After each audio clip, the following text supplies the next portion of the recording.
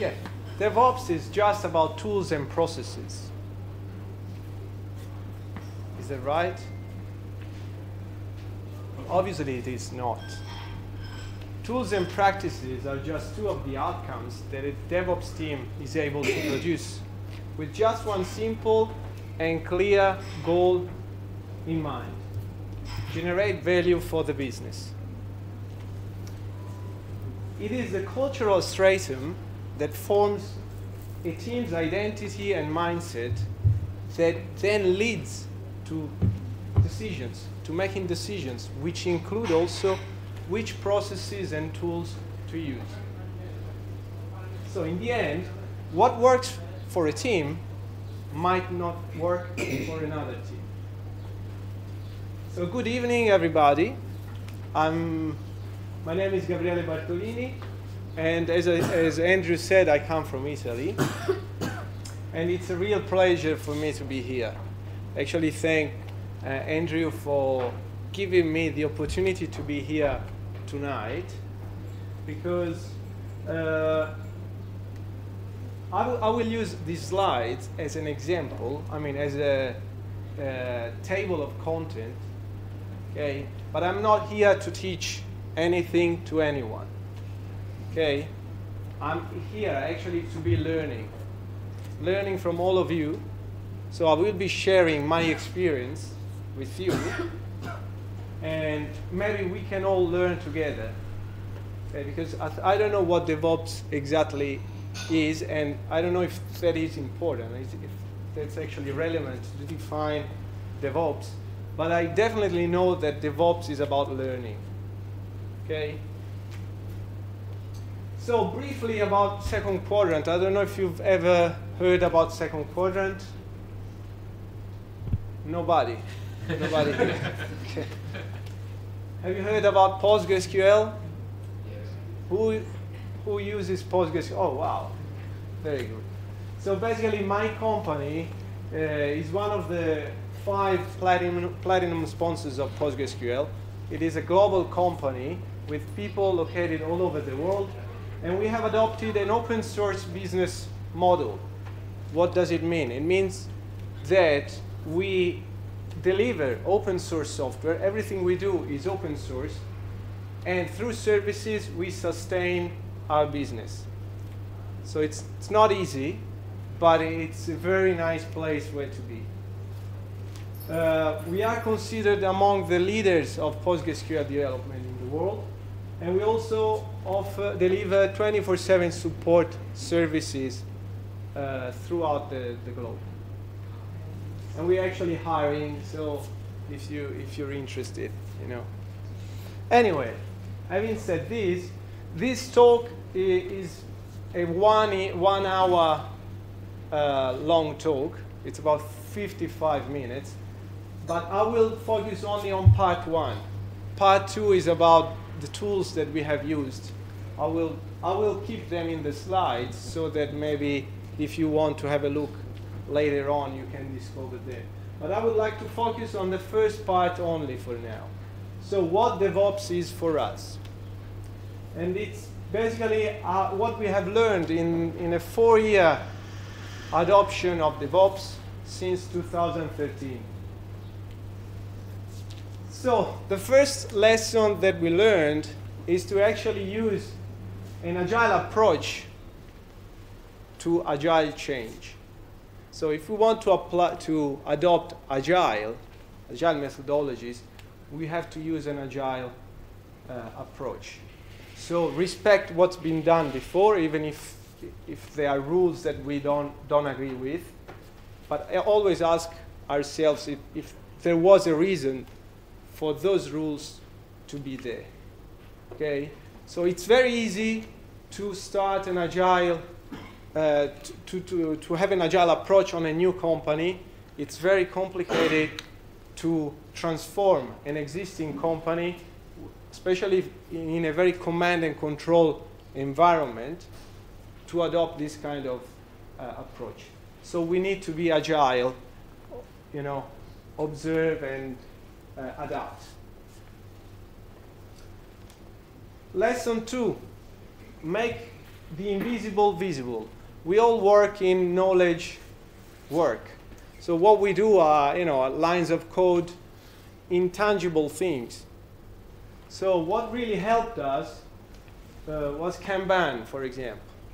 So with Kanban, we were able to uh, transform every task, every activity, every feature uh, in a post-it.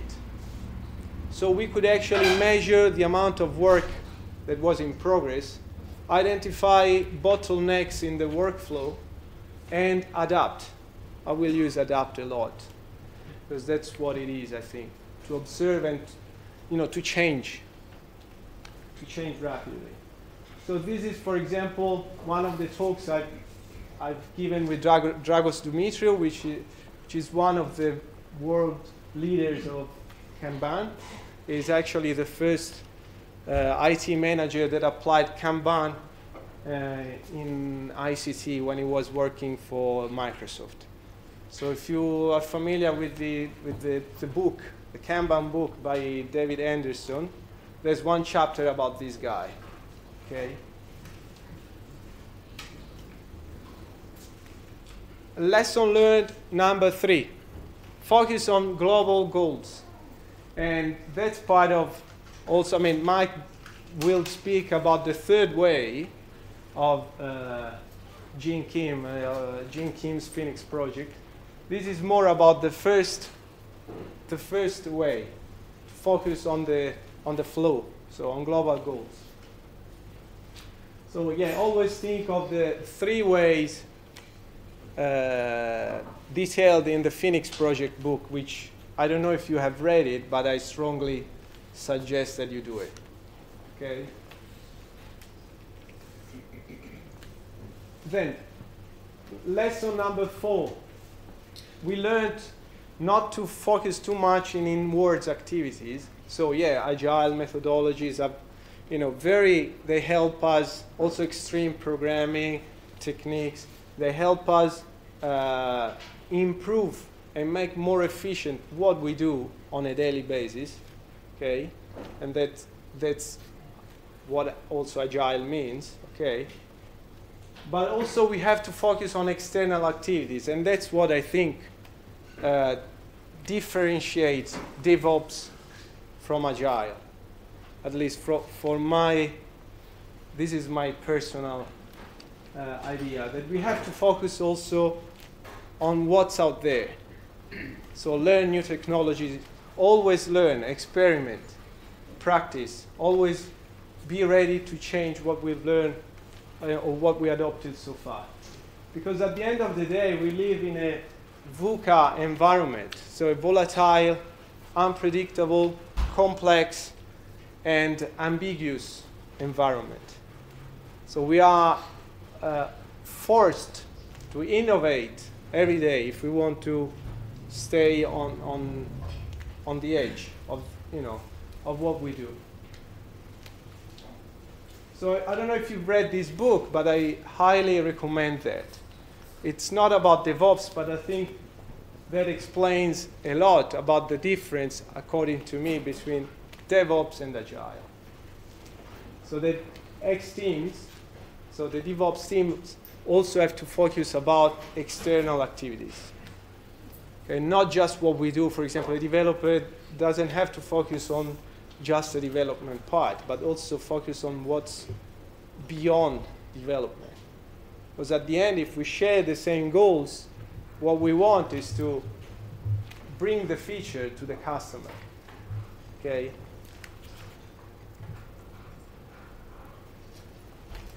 Lesson learned number five is about the business value, not to be uh, uh, mistaken with the customer value, which is always what we probably our business managers think of. I don't know if you, if if that's clear, the difference is clear, but basically consider an activity that doesn't generate any value for our customers. how can it generate value for our business? do you want to give it a go?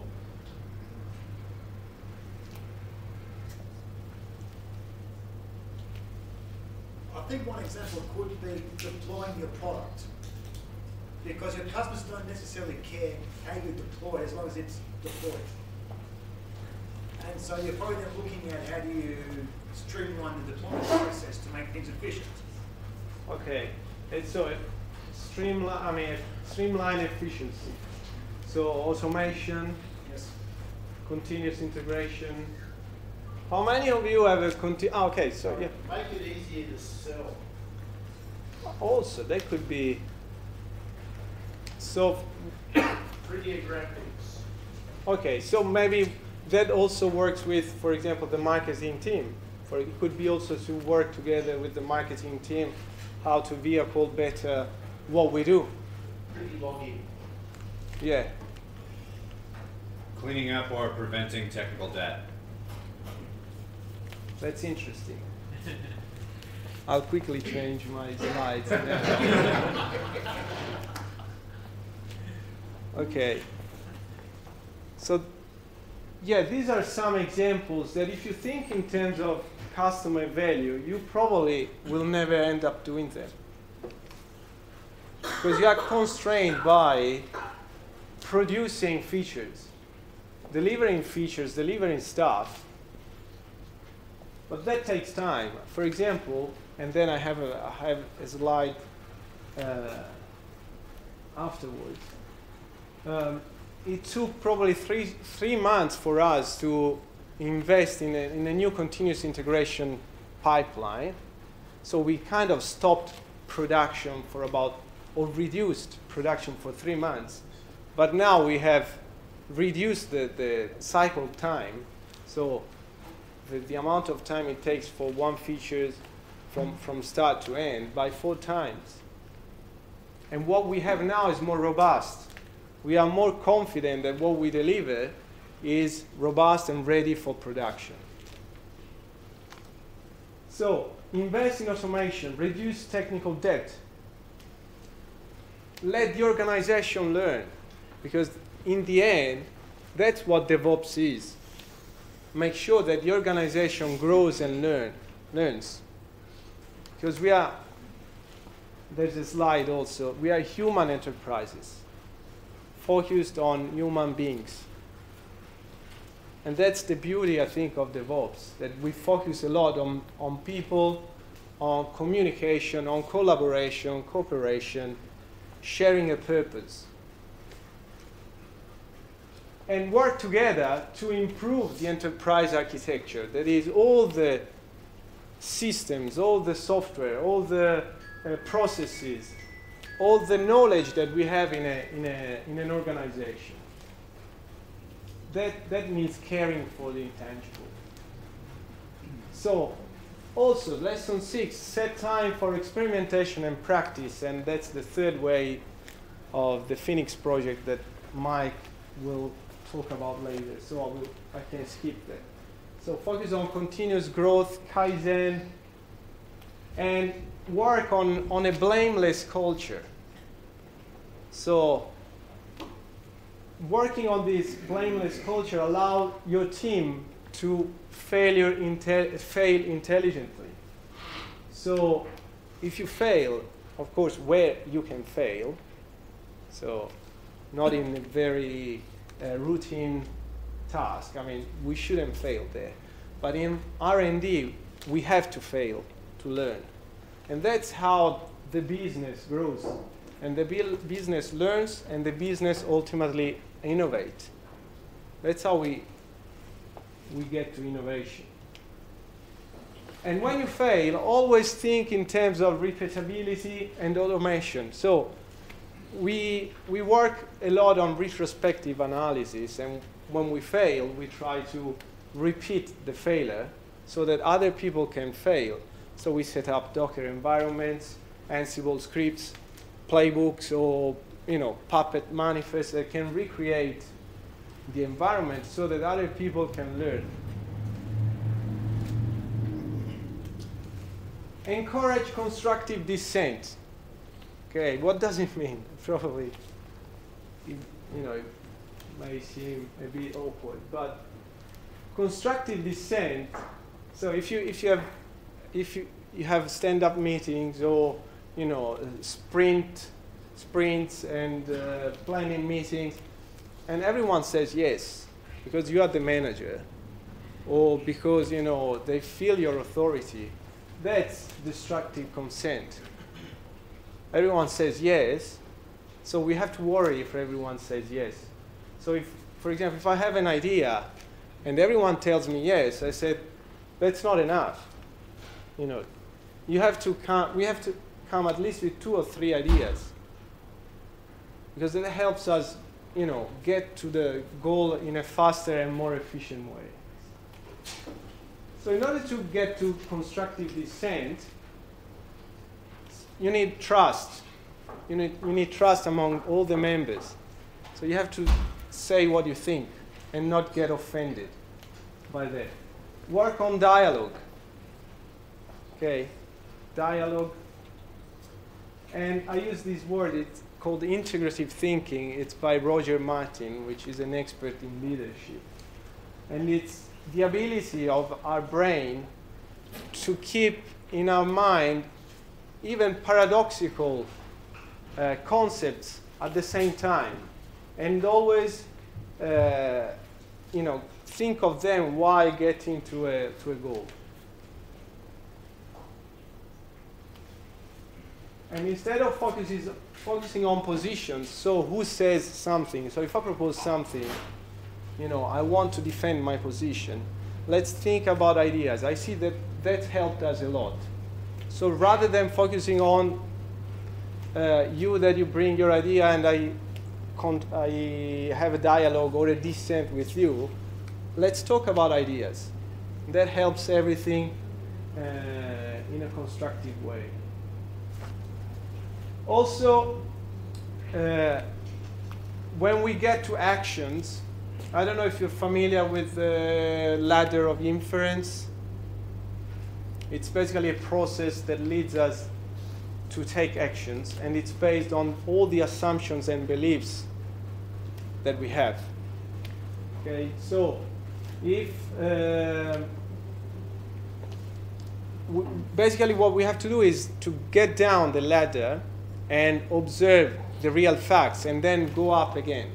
so abandon our assumptions and try and see things not through our filtered eyes, but through clean eyes. Okay, it's, it's an interesting concept. I encourage you to, to, to explore that. Another lesson we learned is to drop the tools. So not to be afraid to, if we, drop, if we have learned something, to drop it. So this is Lao Tzu several centuries ago that says that in the pursuit of knowledge, every day something is acquired, and that's confused complexity. And in pursuit of wisdom, every day something is dropped, and that's where, where we where we get when we get to profound simplicity. So where you know everything when we start dropping things, that's where everything starts to make sense. So, how many languages or technologies have you dropped in your life? I, I think ma many. I say many. I was a C programmer, C++ program, PHP programmer, MySQL database administrator, but don't say it loud. Okay, that's out of here. But yeah, we all should drop technologies and tools. Otherwise, you know, there's Maslow's hammer, you know, that if what we have is a hammer, everything we see is a, nail. Okay? So, because a tool is a means to an end. But of course, sometimes it's not easy to drop, to drop what we have because it's part of our identity. And this is a very sad example that I'm bringing. It's an analogy, okay? It doesn't, ha it doesn't have anything to do with what we do, but uh, it was studied uh, after in, in US after this uh, fire, one firefighter was found eight meters or less than 10 meters away from safety, and he was still wearing a backpack and the chainsaw in his hand. So if he had actually dropped the backpack and all the chainsaw, he would have saved his life. Okay. They conducted an, a research project after this, and basically all the firefighters were saying, "Ah, oh, we can't drop because it's part of our identity." Okay, and they actually started a, a training process for them to learn that they can drop the tools. It's not bad if they do it. Of course, we work in IC, so it's not that severe. You know, the, the consequences consequences are not that severe. But still, dropping tools requires training and leadership. So a lot of many times I go to, a, for example, to a customer, and for example, I have Java. Nothing against Java, okay? I have Java developers. Everything they see is a Java application. Okay, just that's just an example. It's very hard to, you know, sometimes to let them think that there's, you know, what we have to focus is on uh, generating value for our business and ultimately for the customer. Okay? So, and for example, let them know that there's also operations, that there's also databases. So it's not just a single Hibernate thing to have. You, can, you also have SQL, which is very powerful. Okay, and there's also NoSQL. Okay, but I'm an SQL guy with NoSQL uh, knowledge as well. Because PostgreSQL does NoSQL as well. Okay. So another lesson I learned is to support initiative. So if there's people that are passionate, support them and support self-organization, which is what actually uh, helps the team organize the daily work.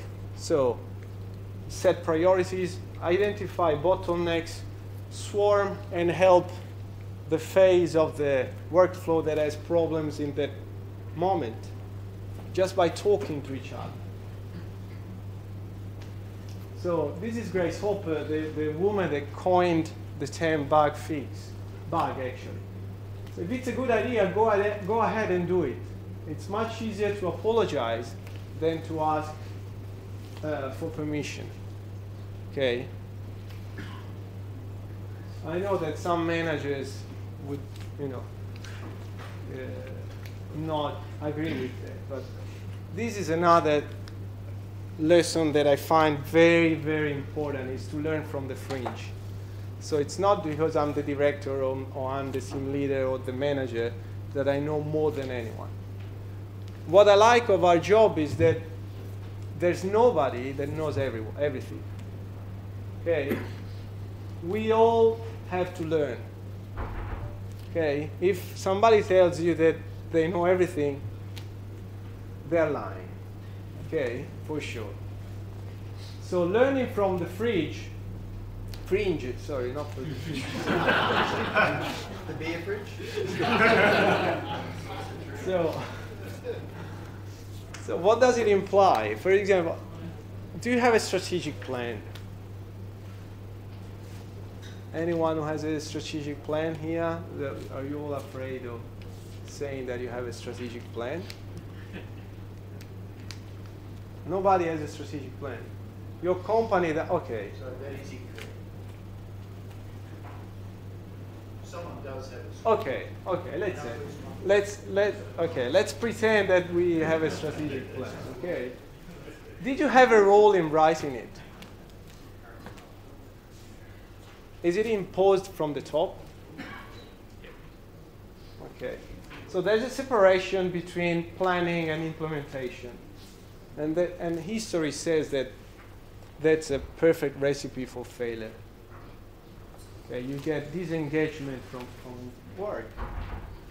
So impose strategic plan versus distributed strategy. So this is this is a plan. It's a static thing. Having a distributed strategy is a dynamic thing. So empowering your people to make strategic, strategic decisions all the time. Because they are the ones that have the pulse, the pulse of the customer. So they are close to the customer. They know what they can do, and they know how to do the good for the company. It's not, it's not an easy concept, but it's a very interesting, interested one, and that's what we have tried to adopt. And we found fantastic uh, results. So this is, we have a strategy document in Google Docs, and everyone can uh, change that all the time. And it's fun through this methodology, it's called appreciative inquiry. I was surprised by the, the quality and the, the amount of, you know, uh, interesting concepts that the team brought up in the strategy document. Fantastic. So everyone owns the strategy. So everyone knows where the company go is, is going and they can make decisions all the time. So as you can see, DevOps is much more than tools. And after all, we're ready to drop them. Right. So DevOps is a cultural change. That's how I define that because it, it requires us to change mindset, not just action. And this is uh, how can you do that? Through strategic leadership at all levels. So having people that are empowered at all levels, that work together, communicate with each other, and can do can improve your organization. So this is what we normally do. We make decisions we assess results and we change decisions again. But we are in the same mindset. The difficulty, the difficult thing is to actually, through results, contest, challenge our mindset, and change. Changing is very difficult because it forces us to abandon our comfort zone. Okay, it's part of our identity, and that's we are contesting that. It's not easy. But through that, we actually can make different decisions that probably take us to different results. This is called double loop learning, and it's a concept that dates 50 years back in time. So this is part two. Uh, our, yeah, our enterprise in architecture, Kanban, orchestration, monitoring, continuous delivery. This is our Kanban board this is when we invested in uh, intangible like continuous integration and the benefits we had afterwards with the growth of delivered items per week. This is our Kanban. But as I said, you will find the slides So this is a tool that we developed. It's a backup tool. This is the continuous integration system that we have. It's based on Jenkins 1.6. There's, you know, the fundamental plugin, the Chuck Norris plugin. That's what actually, the, I mean, that's where the whole infrastructure is based on. So And we do, based on commits, we build tarballs, unit tests, documentation, integration tests, packages for all Linux distributions, and, with, and smoke tests with all PostgreSQL versions. So we do tests with every PostgreSQL version, and we deliver doc documentation and packages. Version 2, now we are going, we are upgrading that with Jenkins 2.19 using this plugin, which is very cool. It's the pipeline plugin, and it allows us to have configuration in Git inside the, the, the project. So, but as I said, you'll find everything in the slides because my time is about to end. So what we these are, this is a list of the things that we have dropped so far. Trac MySQL, sub etc. Even background, even though we still use it in some cases, but we have, for example, removed Vagrant from our continuous integration pipeline, and we are using Docker for everything now. Yeah, and the Chuck Norris plugin for now. So this, yeah, was my presentation, and we don't have to worry about tools because they continuously change. We change as people, and tools change all the time. So let's uh, challenge our mindset through double loop learning. And uh, in order to do that, it's important to have these. So, as I said before, it's a cultural uh, thing. If, we, if there's not the right culture in our team, DevOps will fail. Agile will fail. Uh, so this is the foundation of everything. If we have the culture, we are ready to change. And in order to do that, what we learned, at least this is what we learned, is to have strategic level, uh, leadership at all levels. So not to be afraid to empower people. And I, I'm sure that if you have tried that, and maybe we'll have some questions now, and maybe you can say yours.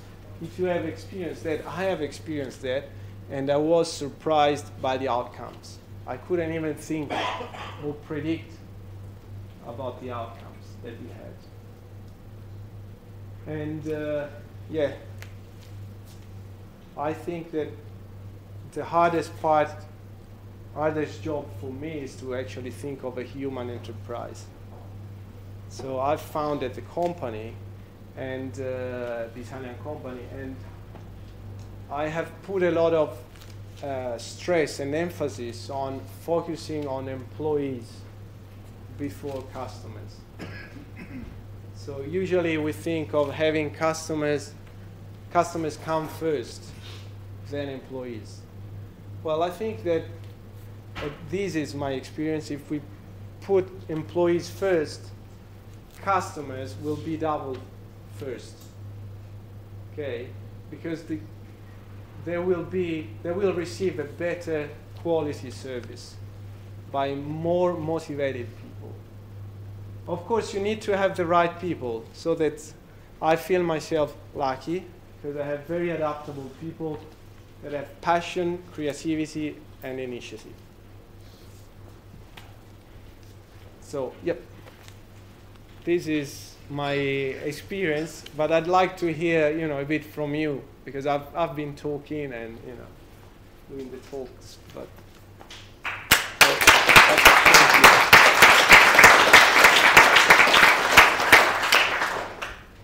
We have time for a couple of questions for Gabriele. Anybody, questions or comments?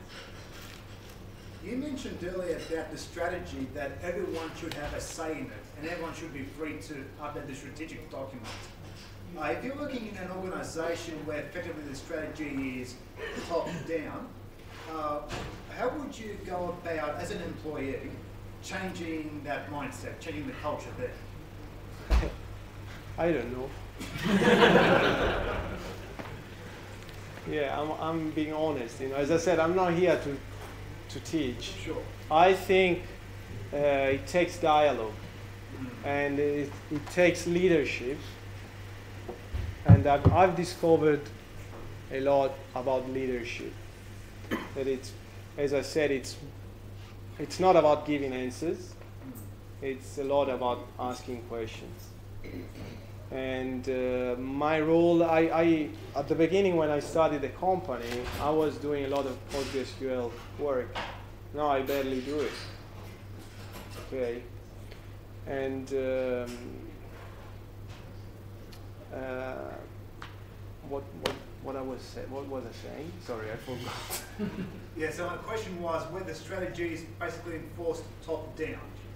How do you, and you mentioned that you don't, you don't really know how that you would go about doing this, but to change the mindset to make it make the strategy bottom up, as in everyone participates in the strategy. Oh yeah, yeah. I, I said it takes leadership. Yes. Yeah. Yeah, it's it's a you know revolutionary ch- rev- revolutionary change in a sort of way, but hmm. we need to stick with the lesson lesson one and be agile. So observe, uh, do you know, step by step talk, communicate, get the buy-in of people above you. So what I what I've learned so far, and this is not manipulation. Okay, don't take it wrong because some some people can say that I manipulate people. Okay, sometimes they tell me. Okay, that, but it's actually I'm happy where they go with the decisions they make, and it's important through a dialogue to find a solution together. Not, it's not about positions, but it's about ideas. So, if you can show that DevOps brings value for the organization and ultimately for customers, that's where I think you should try and uh, you know place a Trojan horse. Okay, so I think that's the, that's the, the, the um, we say cuneo in Italian. I don't know how to say, but it's like a Roman phalanx that enters, you know, the defense. That's where I would try and go. Okay, but as I said, it's you will have to find your way to do it, and it's not by imposing, but it's actually about talking with other people. And leaders should be good not only with the people they manage, but also with the above team. So that, so that that's also an important skill to have. So I would I would say that the leaders that's the work of the leaders to do that. But it's not easy because the difference between leaders and managers is that you're walking in the unknown. So there are no easy answers in uh, in the leader's territory. Okay. If everyone writes a strategy, how do you prevent chaos? through mani- through manipulation. No, I'm just kidding. you need to have the right people. Okay, and I'm not saying people with the same ideas, because actually I was reading a couple of weeks ago a very interesting article about diversity, the importance of diversity in a team, because it allows us to think in a different way, and have also fostered the integrative, integrative thinking I was mentioning before. Okay. Of course, that's the role of the leader. The leader needs to, you know, through questions, you know, maintain a bit of control. Okay. For example, in our company, if somebody says, okay, we from tomorrow we stop using Postgres and we use MySQL, that person is fired instantly. okay. So, for example, that's that's not that's out of the question. But I think I, I won't be the one saying leave. It's the team that you know will riot and say, okay, you go. What MySQL? Oh no, there's no way. and you know what? That person from the following day will be a PostgreSQL user because after you explain why PostgreSQL is better than MySQL, they convert. Just kidding. Okay. Awesome. Well, um, there, we're out of time questions now. Food, like literally coming out right now. Um, Gabriel's got time to hang Yeah. out and, and chat with you if you've got more questions. Yeah. Um, um, but I think that was a great talk. That covers a whole lot of DevOps experience that we often don't get Yeah, So please join me in thanking Gabriele. Thank you.